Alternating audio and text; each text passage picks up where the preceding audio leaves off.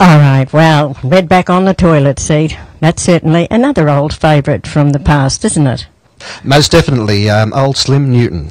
Yes, that's right. That's right. But a very popular song, wasn't it? It certainly was. Yes, it was a very popular song.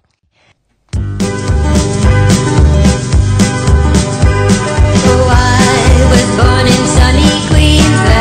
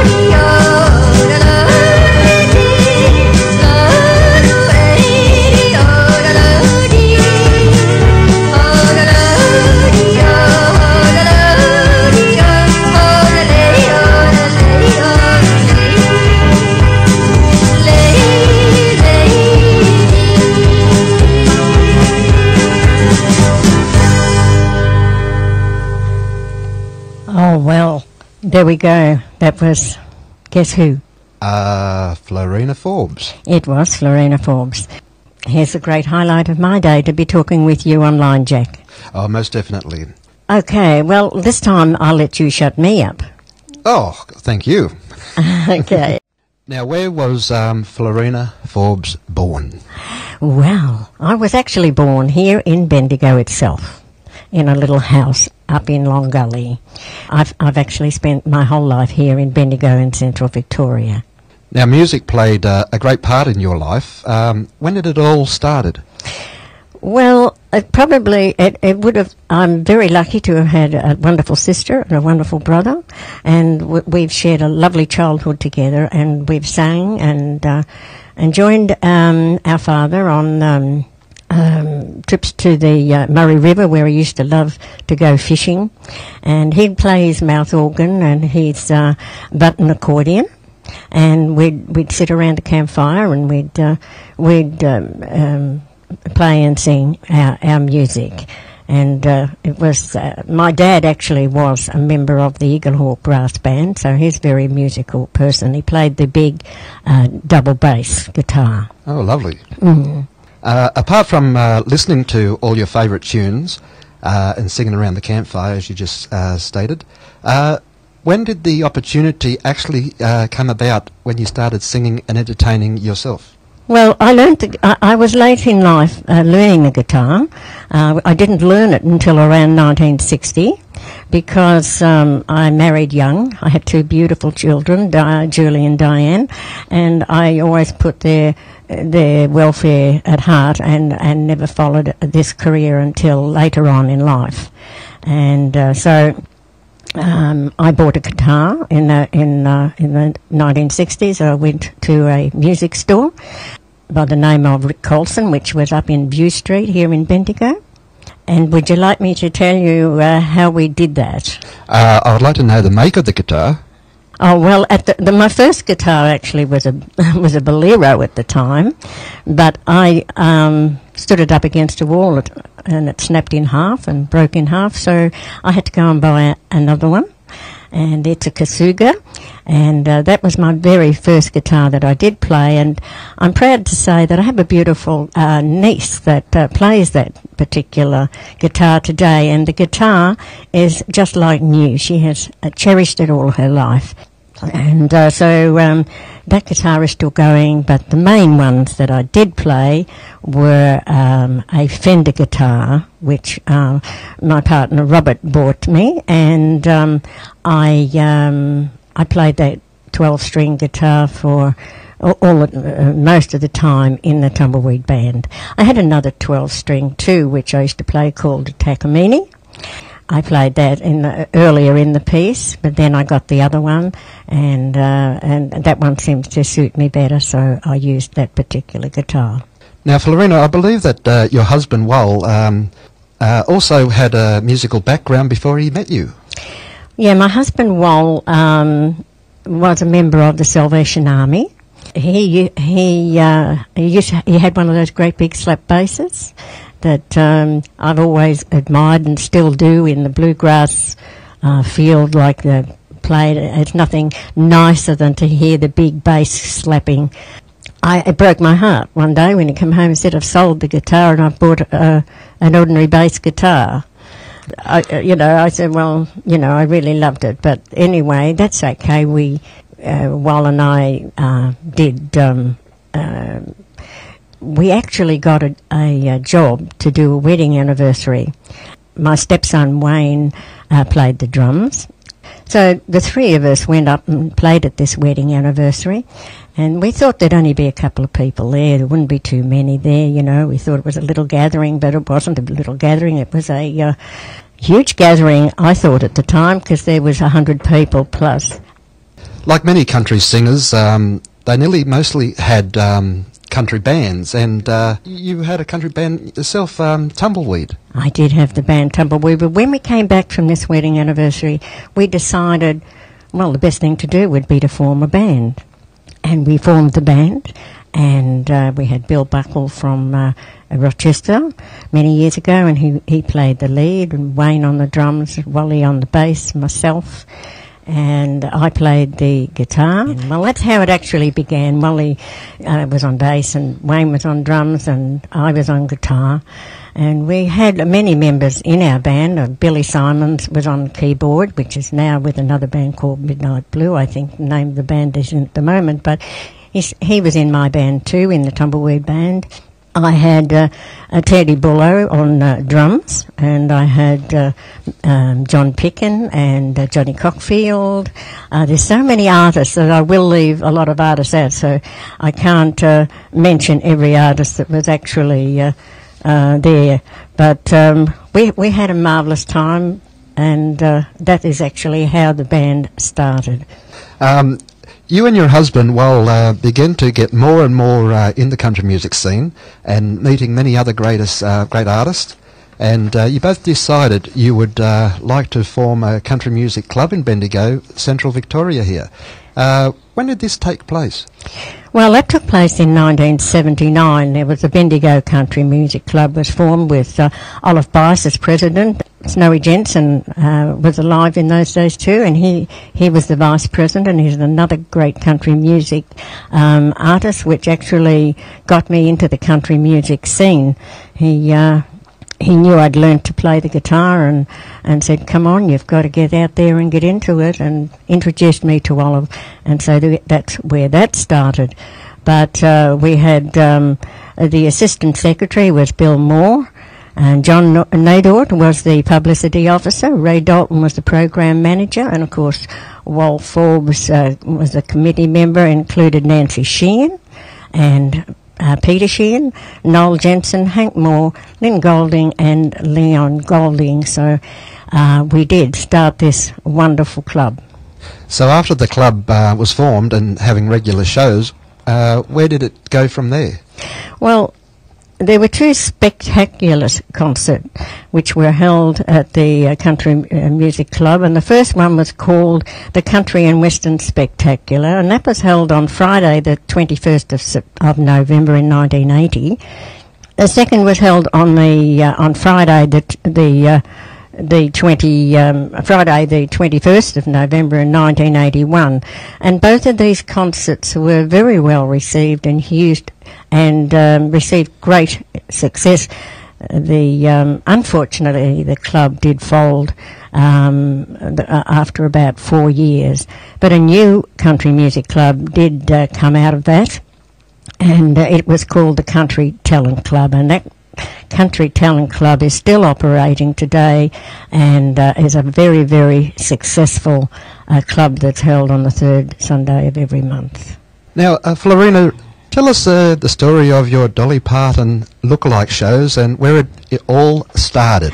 Well, my Dolly Parton, it, it, it, was something that was done in jest, and, and, it's, and it's followed me right through the last 40 years probably of my life, uh, whereas it's, um, I, did it at the Bendigo Club many, many years ago, and I dressed up as Dolly Parton, and um, of course I was a little younger at the time then and looked a little bit like Dolly Parton.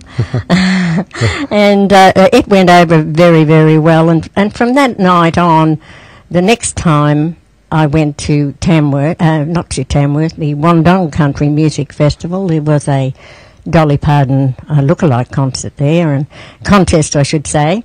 And uh, I entered into this contest, and uh, um, I didn't actually win the show, but the uh, one of the editors of the Weekly Times at the time, called Mary Maxwell, she came to me and she said, "As far as I'm concerned, you're the one that's won it." But I didn't win it, and she took my photo.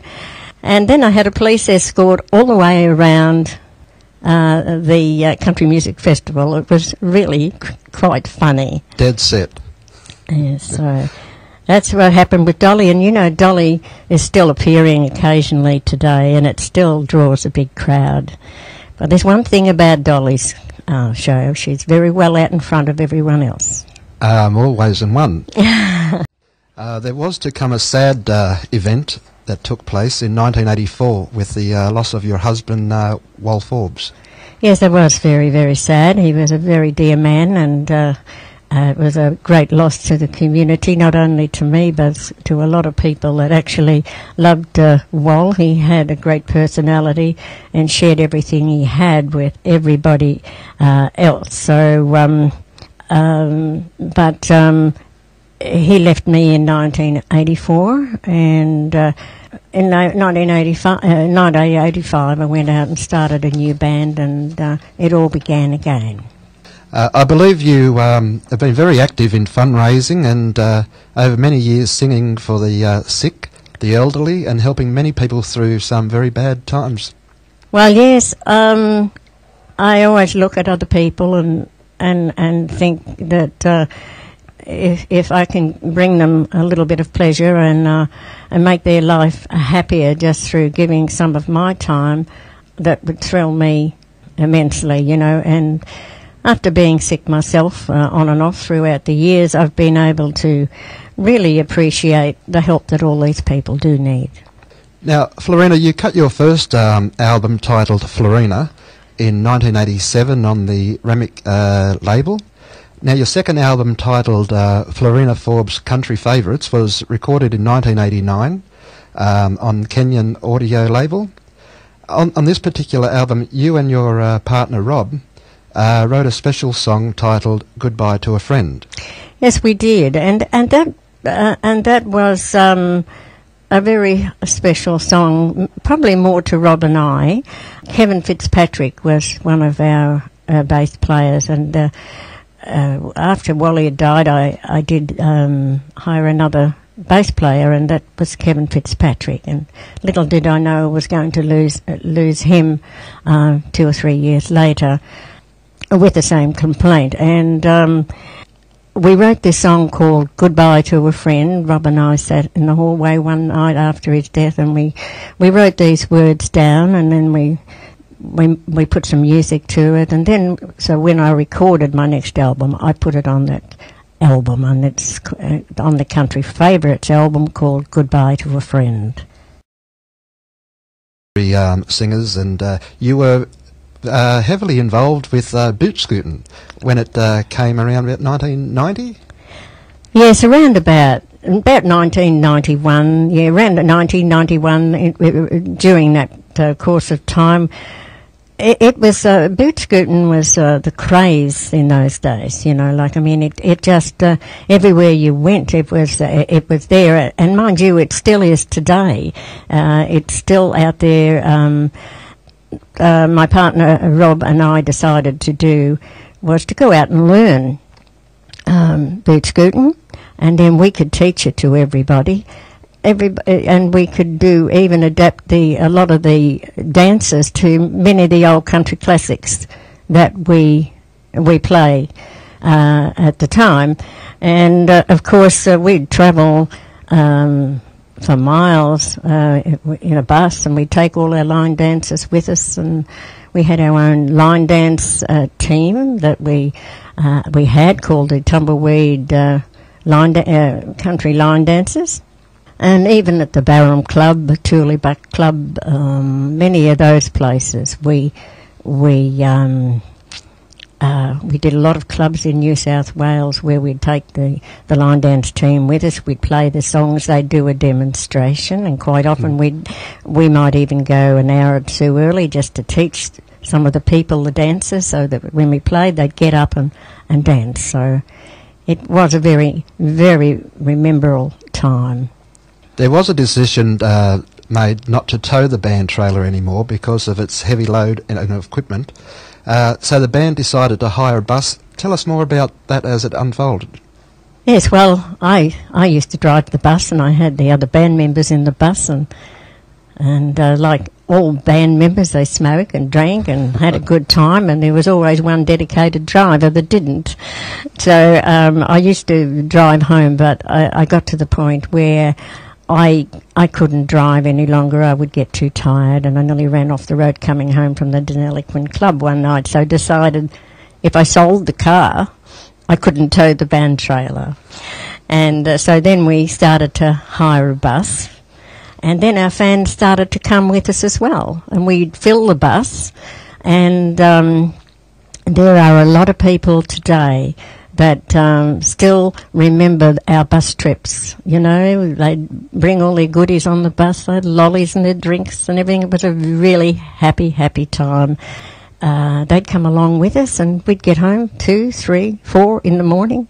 And um, it was a really wonderful time.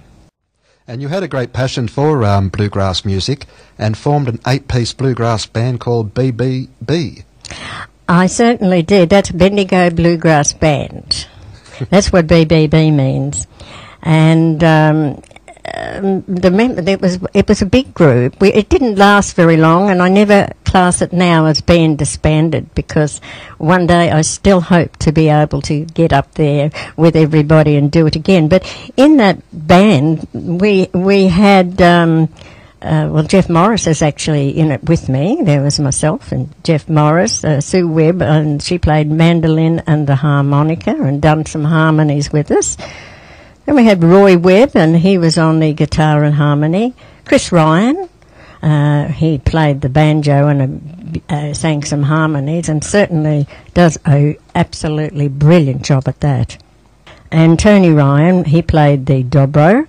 Uh, Finn Matthews was on the uh, the big bass, big slap bass, and Penelope Somerville was on fiddle and harmony, and um, the group would actually go on and rename themselves as the Tumbleweed Band. As as uh, a little bit later on, we changed it to the Tumbleweed Band. I I never, even though I like the title of the bluegrass band, the, the name Tumbleweed seemed to want to stick with me. So that's what I, I went over in the last couple of gigs that we actually did. Now, in uh, 2006, you joined Phoenix FM 106.7 in Bendigo here, where we are today. That's right. And uh, I'm very proud to be a member of Phoenix 106.7. It's the most wonderful station. It's very friendly, and uh, it certainly uh, um, looks after all its uh, announcers. And I enjoy being able to produce. Uh, well, our show, Jack, yours and mine, the pioneers of country music, and and other shows. It's, and it's a, a station that you can tune into and get a different uh, a, a program that actually suits you, being a community radio station. And in 2007, you formed a three uh, a three country divas uh, show with Olive Bice and Anne Conway. Uh, how, how did this eventuate?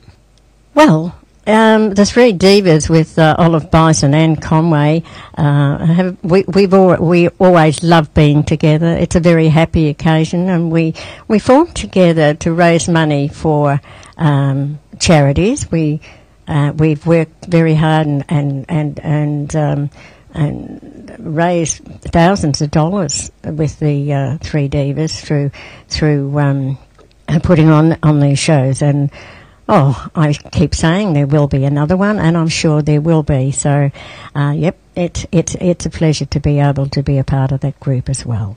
Uh, in 2008, um, your world uh, crumbled once again when you found out that uh, you had breast cancer. Yes, I did. It did certainly crumble, and uh, it's a uh, a hard time in anyone's life that's been through that sort of thing. But there's also a, a, a great fighting side that comes out of you, and you know that you're going to work your way way through this. And there's so many people today that that recover well from breast cancer, and I seem to be one of those that are going well. So, you know, one time when you had breast cancer, you, you know, you thought it was going to be the end, but it's it's not the end anymore. Uh, earl- early this year in uh, 2012, uh, you released a new album called For the Good Times, uh, recorded at Shoefly uh, Studios. Uh, you've continued to enjoy um, producing shows and promoting other artists and uh, still perform at country music clubs and festivals. Yes, I certainly do. And um, the album called For the Good Times was um, made just prior Christmas last year, 2011. And it's got some great tracks on it. And uh, I'm so pleased that I did it. I may be my last one. I won't promise that it's not, because when everybody says, oh, they're going to retire, they don't. And you're on Phoenix 106.7, and I'm going to say thank you to you, Jack, for joining me this morning. Um, and now it's afternoon, It's always a pleasure. and um, it's been lovely to have you in the studio. And uh, we always say live in the studio, but then I wouldn't like to see you in here dead. Oh, well. but no, we'll have to have a. We've got to have a bit of a laugh. don't we? Exactly. Yeah. So it's it's been a pleasure to have you in here today, and and I do know that you're a man that likes a lot of humour. And um, if you go onto my website, you'll be able to click on a. Um, a, a photo on my webpage, It's just called Drongo Jack, and you'll